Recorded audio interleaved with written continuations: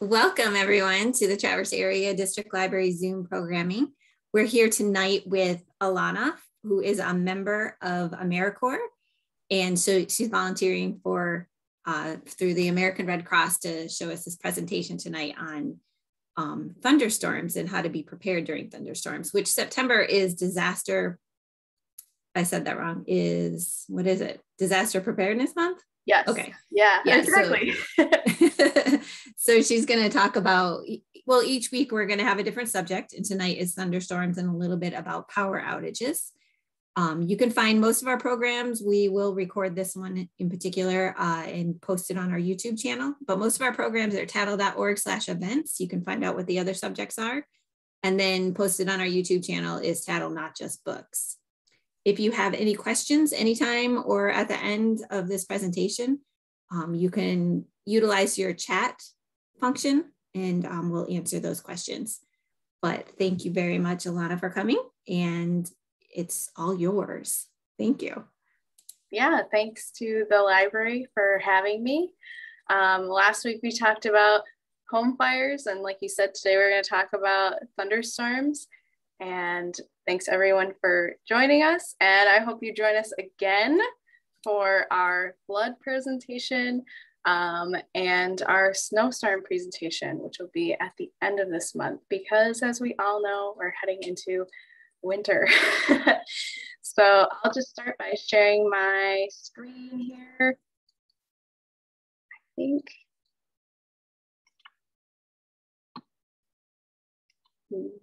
There we go. All right, look good, Betsy. Okay, great. Okay, so we're going to talk about thunderstorms today, as I said, but first we'll start with just some general preparedness uh, tips that the Red Cross recommends for all disasters that happen in your area. So odds are that disaster will strike. The fact simply is that disasters happen and they happen often with little or no warning anywhere and at any time. They can affect any community, and we know it's a disaster if normal response systems are overwhelmed, people are hurt, and property is damaged or destroyed. So every year, community, communities across the United States face disasters, and we see a lot of thunderstorms in particular that do damage to houses and other property. So what about Northern Michigan in particular, or even Traverse City in particular? Not all of these um, hazards or disasters apply to our area, obviously. I don't think we're having any hurricanes, for example, but some of them do. And if you travel regularly, you want to keep in mind, you know, what type of disasters could happen in that area and be prepared for those as well. But here in Northern Michigan, we basically face these disasters on the screen here. Home fires, tornadoes, thunderstorms, wildfires, floods, extreme heat, and winter storms, of course. And we could even add pandemics, for example, to this list. They kind of fit that definition we just talked about earlier. But today we'll be talking about thunderstorms, as I said, but we can apply all of these tips to disasters. So in any of these disasters that we're talking about, a lot of people assume that someone else will be there to help them, but resources just there to support everybody immediately. First responders, disaster organizations like the Red Cross, government agencies and hospitals are doing their best, but they're just staffed for normal day-to-day operations and resources end up being really limited during a disaster. So we have to depend on ourselves first and foremost, because like we were saying earlier, you know, roads could be impassable, utilities could be turned off, hospitals and first responders might be overwhelmed, and banks, grocery stores, gas stations, pharmacies, schools, workplaces, all those things that you need could be closed for days on end. I think we all have experience with that. So you don't want to count on receiving help right away. You want to be prepared to help yourself, anyone else in your household, even your pets neighbors, older adults, and doing this preparation can help us safe, adapt to challenges, and recover more quickly. So the Red Cross has split this into three very easy steps, which are get a kit, make a plan, and be informed. So your kit will contain all the supplies you need if you ever need to evacuate for a disaster. Um, make a plan is just identifying the steps you need to take to respond to specific disasters. And be informed is just learning how to get information if a disaster occurs and what resources there is in your community. So let's look at all of these in a little bit more detail. So the first one was get a kit. So we recommend that you have two kits. One is your household kit, which has supplies for about three days, but two weeks is even better. And then a go bag, which is a mobile version of that same kit. So supplies for about three days in case you need to evacuate uh, quickly. And this is something, you know, you put in like maybe a backpack or a duffel bag, something, you know, more portable than the household kit. Also, you should consider making one for your vehicle. So if a disaster ever strikes, you know, while you're in your vehicle, you have your supplies ready to go and you could put in, you know, more customizable things specific to vehicle emergencies.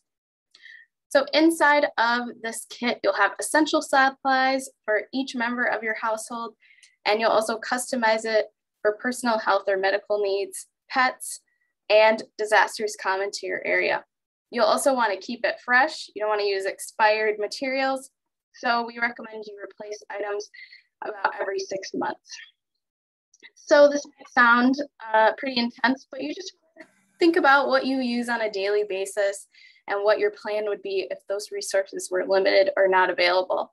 So there's some examples on this slide right here, you know, non-perishable food, some bottled water, a battery or batteries and a flashlight, a radio, first aid kit, and some medication if you can put that in there as well.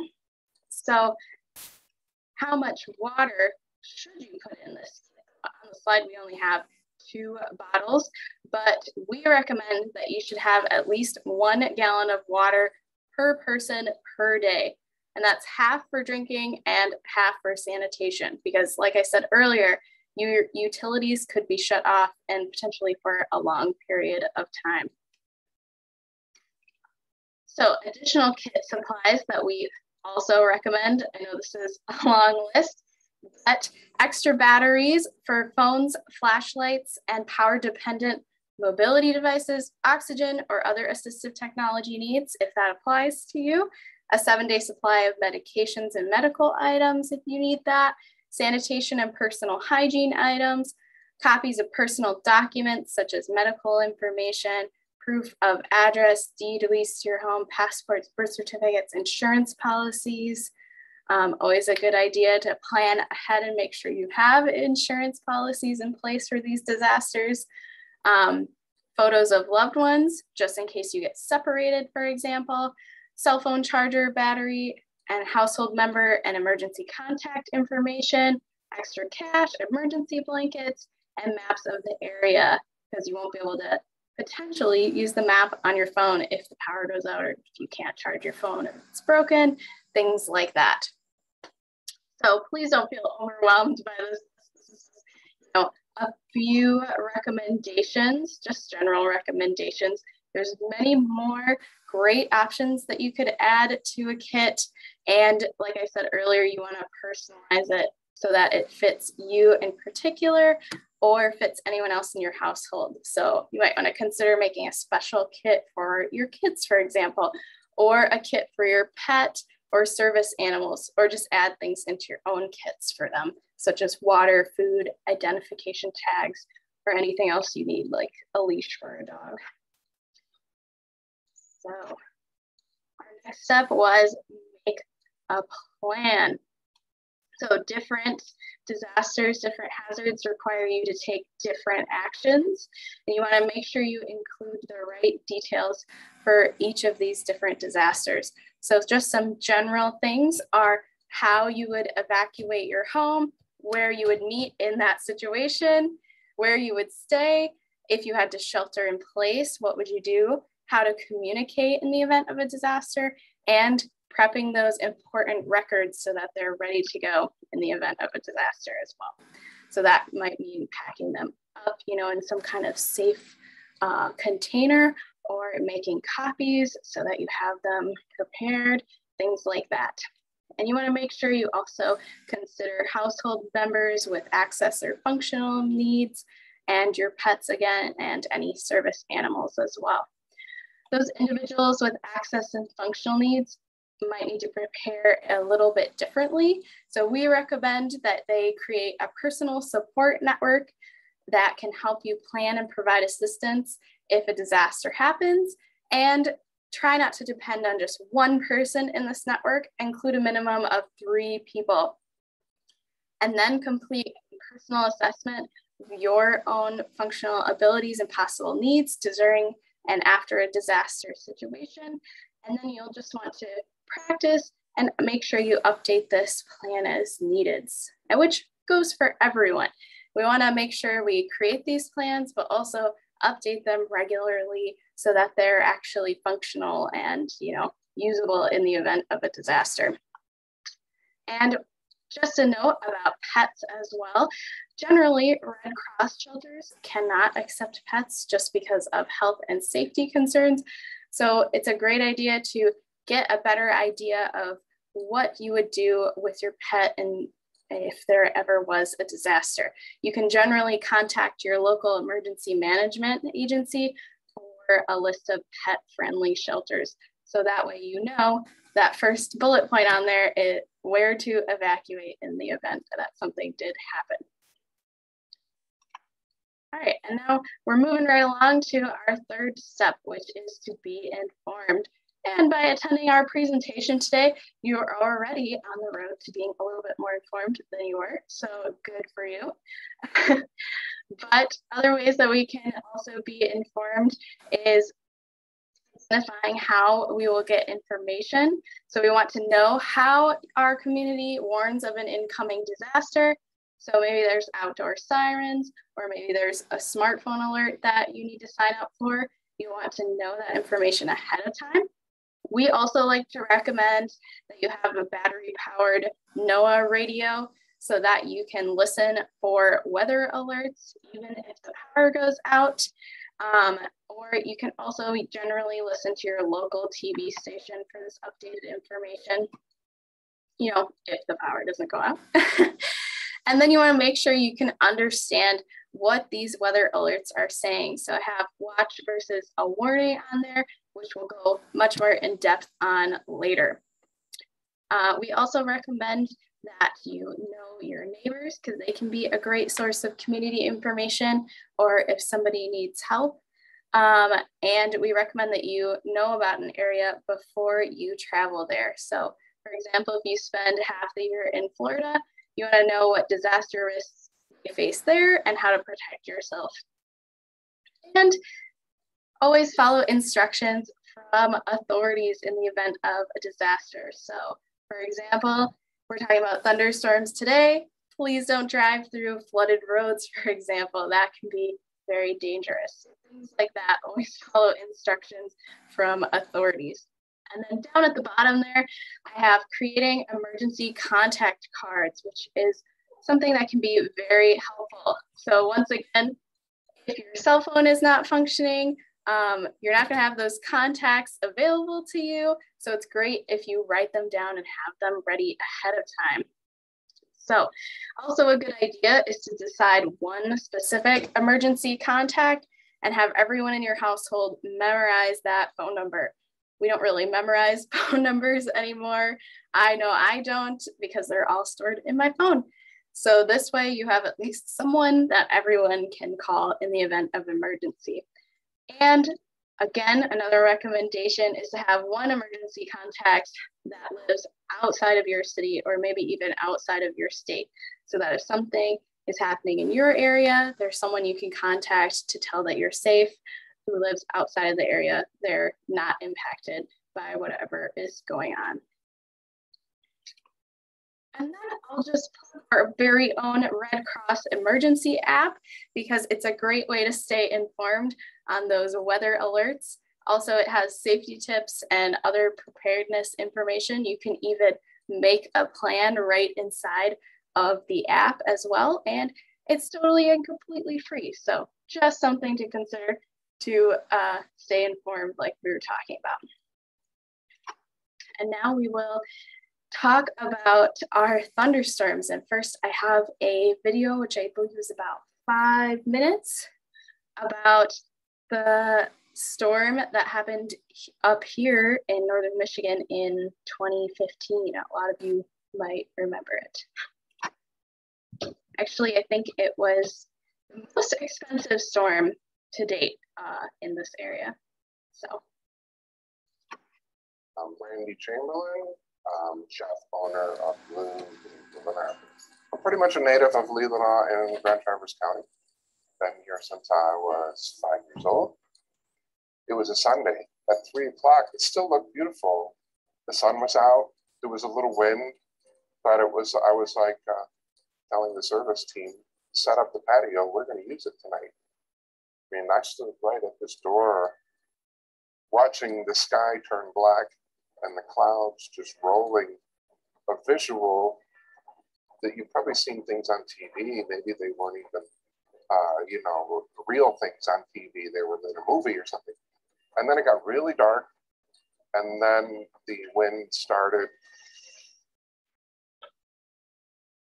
I remember looking at the islands here, uh, south and North Manitou, and seeing you could see just a wall coming in, and then all of a sudden it eclipsed the islands, and you couldn't see the islands. Within a minute, we were we were in it. So from the islands, five six miles away, to right here, it took a minute, maybe two, and I stood here and watched the whole thing. And then, um, then the rain came.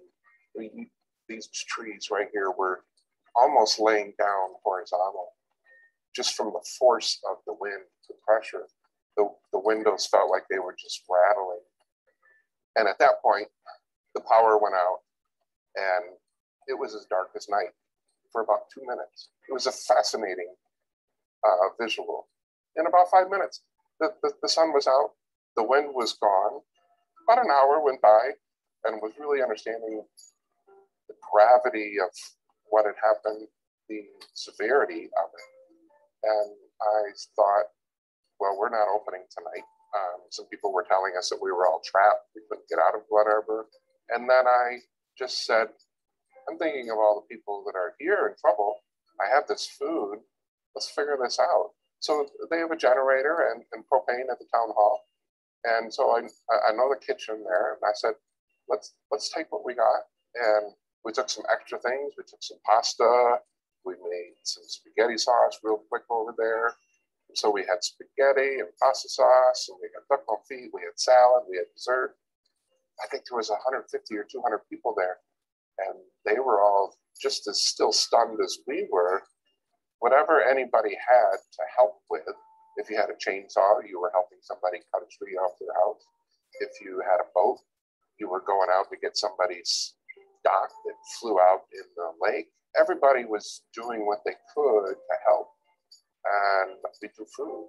It was an amazing experience to see how grateful people were. For the entire week of being closed, we were part of this community and still continuing to do what we could to help seeing how everyone else was helping each other, it was very refreshing to see the help that people were receiving and giving.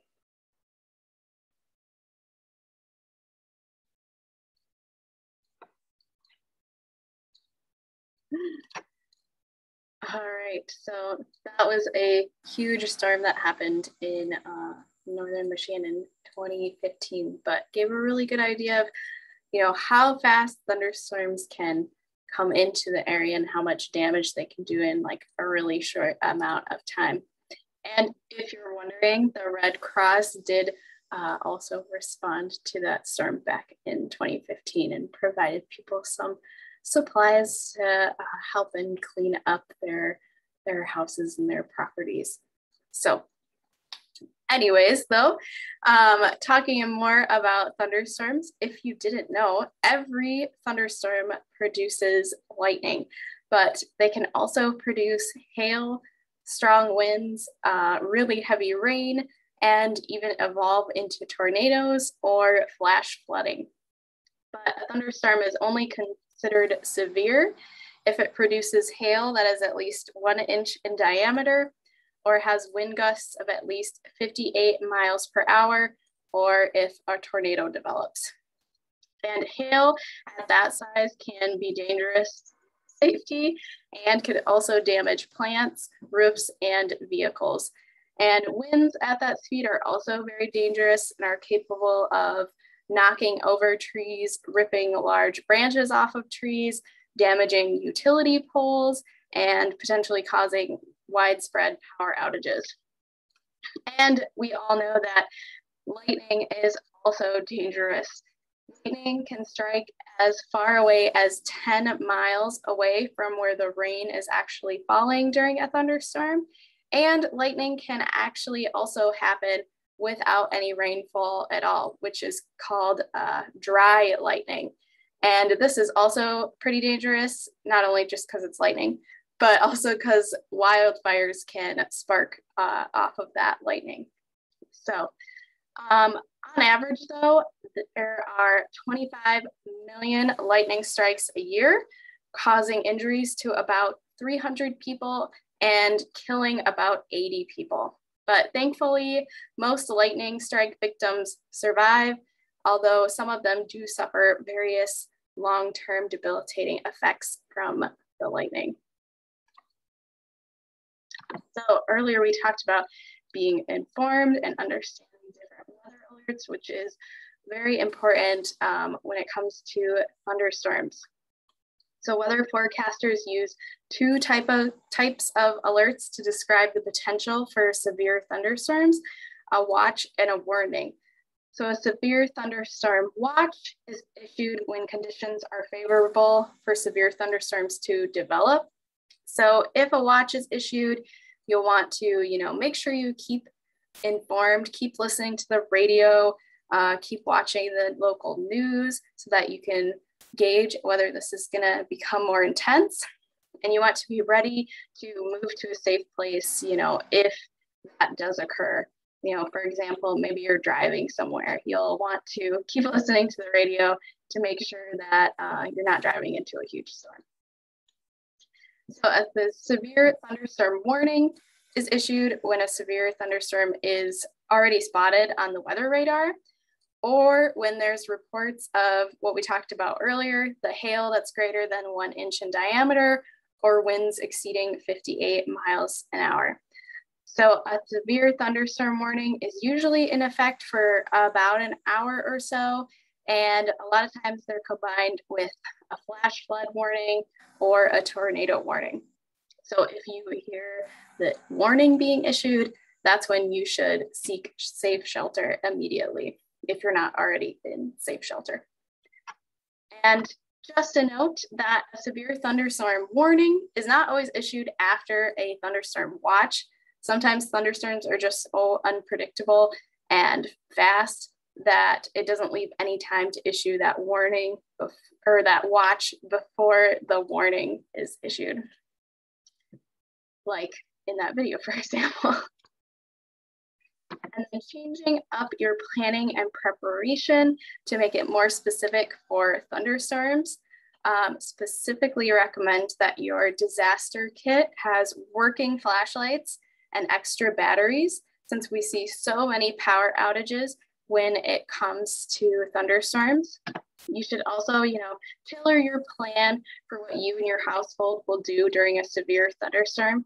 You want to, you know, think about what your house is like, for an example, and whether that's somewhere that's safe for you to take, you know, shelter in. And always make sure that you include your pets as well. You know, thunderstorms are one of those disasters that tend to really um, scare pets. Um, so that's something to take into account as well.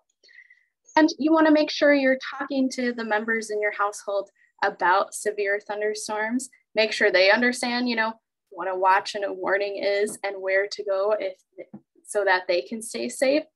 Um, and we're going to talk about, you know, even more safety tips later on in this presentation. So you just want to make sure that everyone in your house knows that all this information so that they can be as safe as possible.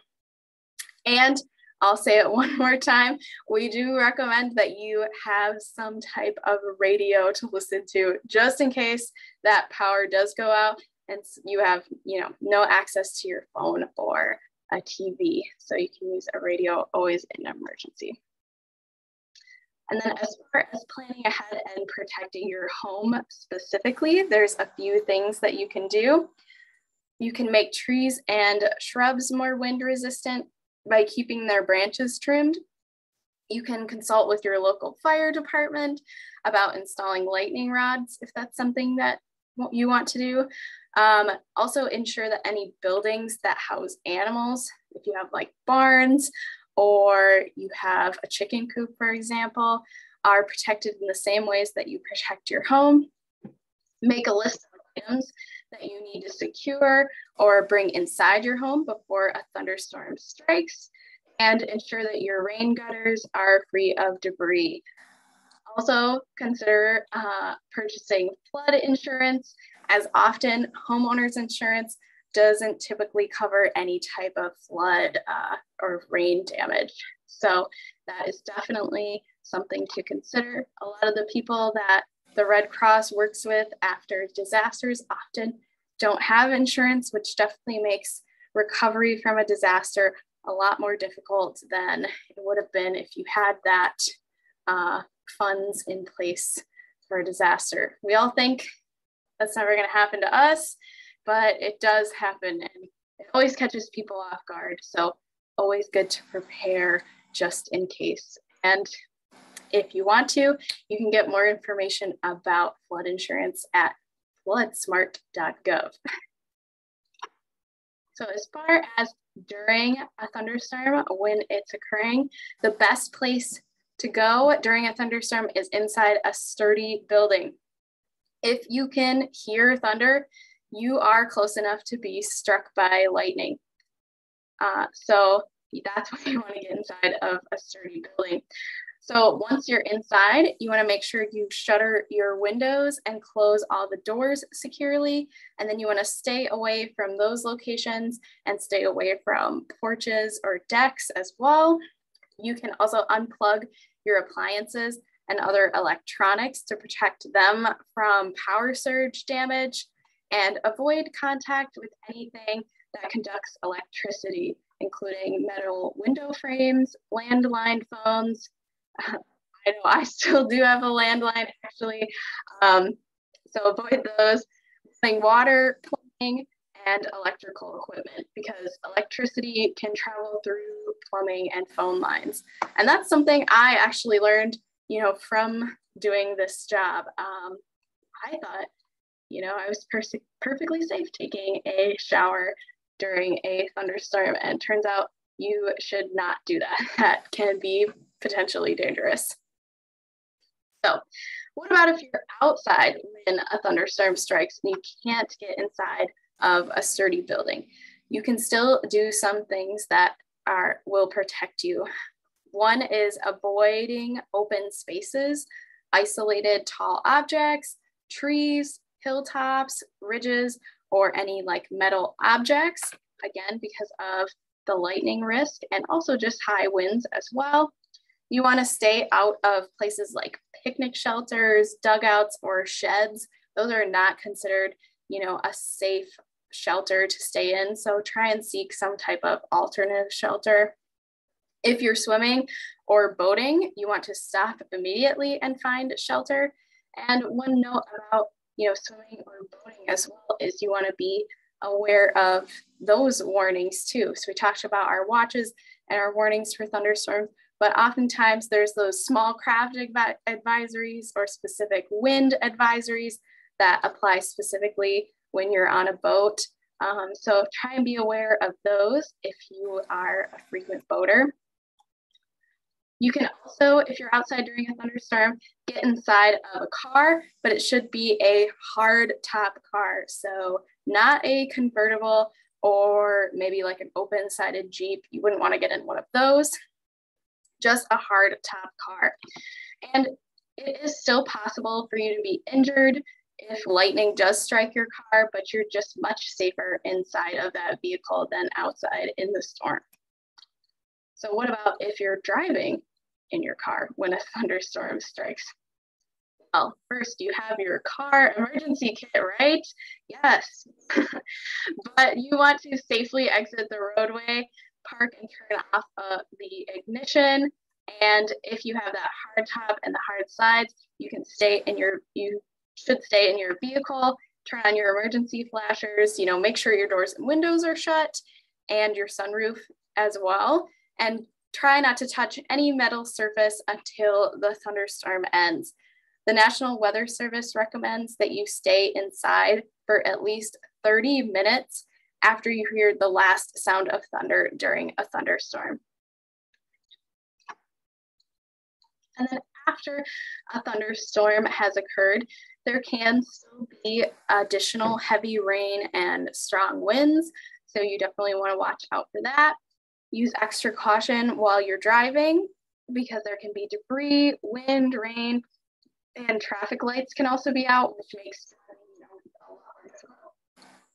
and never drive through a flooded roadway because you can't predict how deep or how potentially dangerous it is.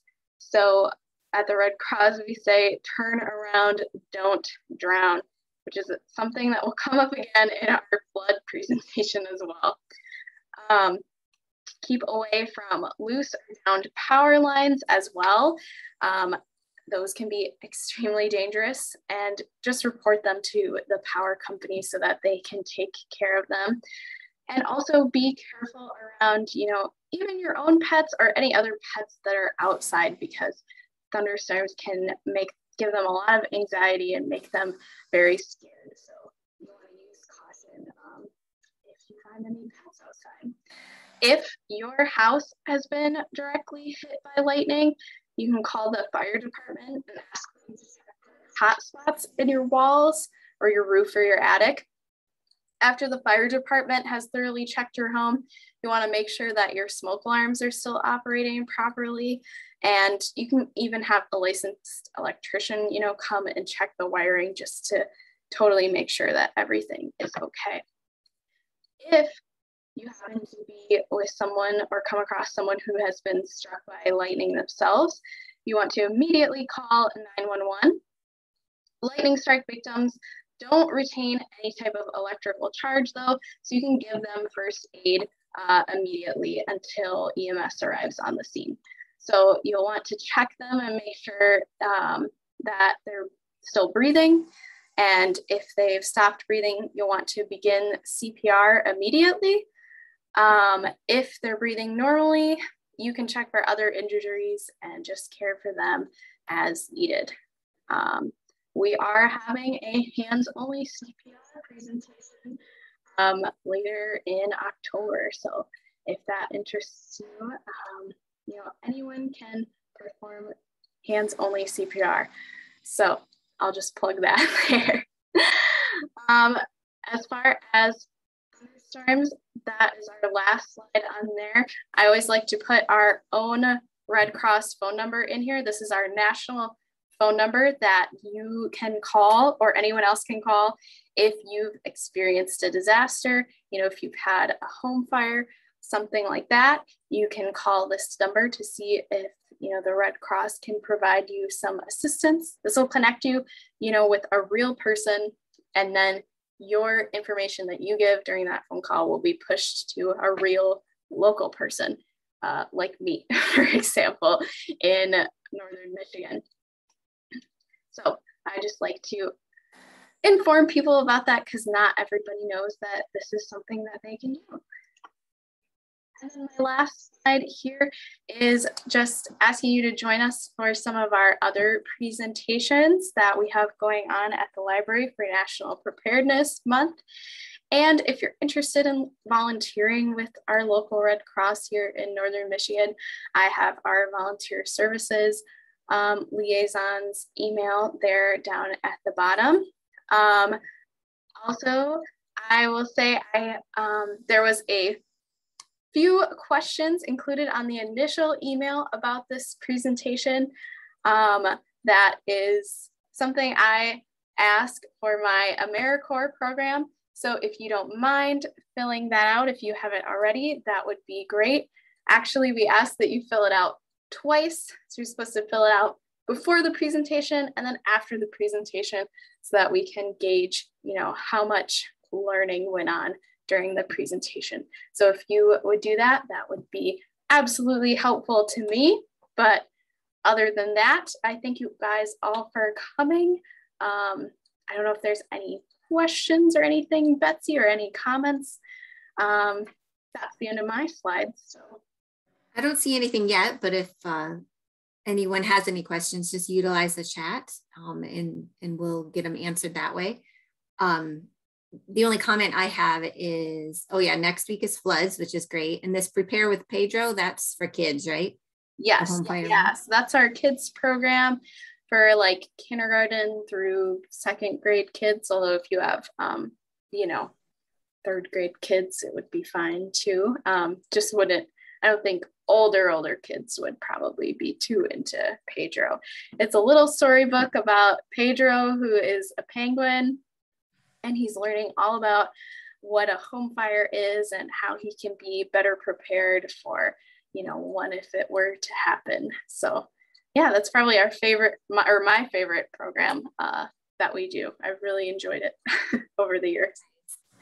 Is the um, the kits that you prepare for all of these? I'm just thinking back to last week's um, presentation as well as this one. Are the kits for the most part pretty much the same, and then just a couple things added to each one? You know, to be like one for thunderstorms, um, I'm curious at the end of this whole series about go back to each slide and see how much they change those kits change, either the go bag or just what you have ready in your oh, house. Yeah. So prepare with Pedro, the like younger kids presentation. We kind of talk about, you know, the basics, um, you know, having, you know, making a plan with like all the grown-ups in your family and stuff like that and how to escape. And because sometimes kids get really scared during particularly home fires and instead of trying to escape the house they just panic. So that's kind of a big part of the home fire program there. But for the younger kids we definitely have a much more basic program and it's put in that storybook format but we do have a very cool uh, program for our like older kids, which is called the Pillowcase Project, where they actually um, everyone gets a pillowcase, which sounds a little strange, um, but it's actually based on one of the Red Cross's own volunteers who went down to Hurricane Katrina.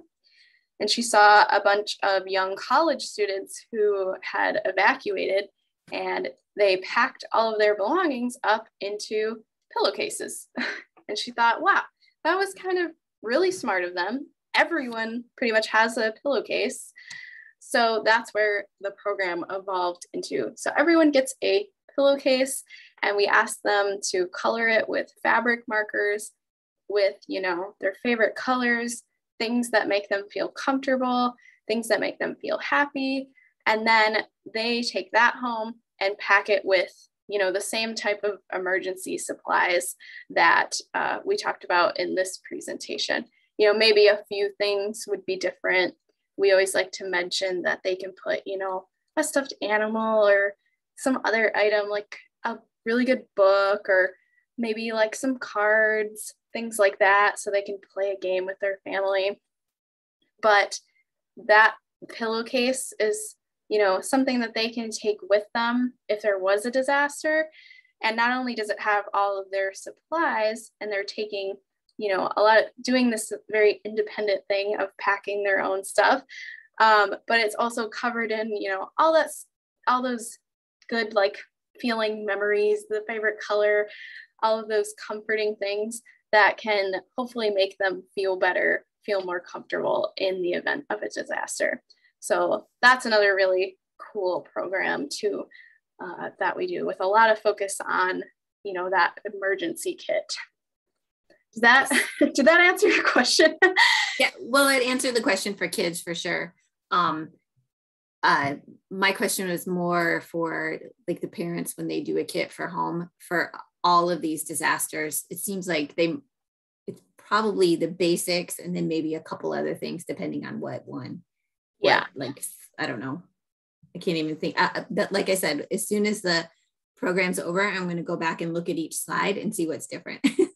yeah, yeah, yeah. We'd have like kind of those general recommendations, but I feel like the best way to go about it is, you know, even kind of like a seasonal check on like your supplies, you know, once like winter's over, you can kind of be like, okay, we don't need, like, I have a kit in my car, for example.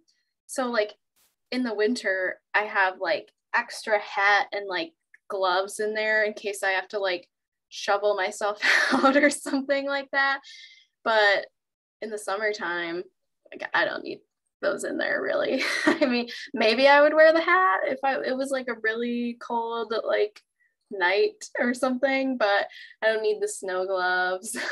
I probably don't need like you know, the kitty litter for like the icy snow or stuff like that. So that's like kind of an easy way to go like seasonally um, and just like refresh things that um, you don't really need in there anymore. Take out the granola bars and swap them out for like something else. That makes sense. That's great. Well, it doesn't look like there's any questions. I appreciate you coming again this week, and we'll see you again next week when we talk about floods. So I appreciate that. Yeah. Thanks for having me. You're welcome.